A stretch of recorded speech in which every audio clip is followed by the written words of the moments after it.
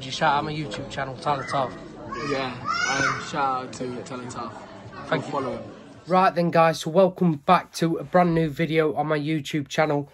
Um, in case you haven't seen, Derby County Academy striker Jack Stretton has left Derby County on loan for a month deal um, at Stockport County.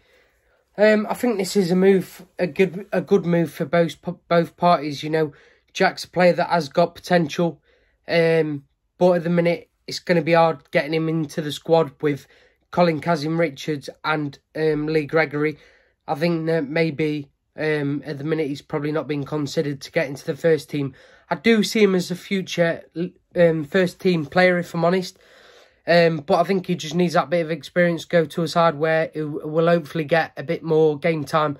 Obviously, obviously Stockport, a side that's probably wanting to push for promotion out of the non-leagues. Hopefully Jack can go there and help him, help them. And I think it is honestly a good move for him, you know.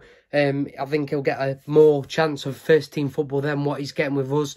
Like I say, he has got potential and I do see him as a future um, player for us. But at the minute, he's not going to fit into the side. So he may as well go out um, and get some game time while he can. Um, so, yeah, wish him all the best and hopefully can get scoring, get his confidence going. And, um, yeah, um, all the best to him. And just comment your thoughts below, guys. That's all I really want to say about it. Make sure you like and subscribe. Up the